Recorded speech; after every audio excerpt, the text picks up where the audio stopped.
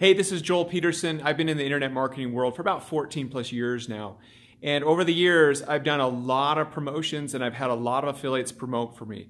And by far, the number one promoter that I've ever had for a single promotion is Igor Kheifets. Igor is the man. He pays attention to detail.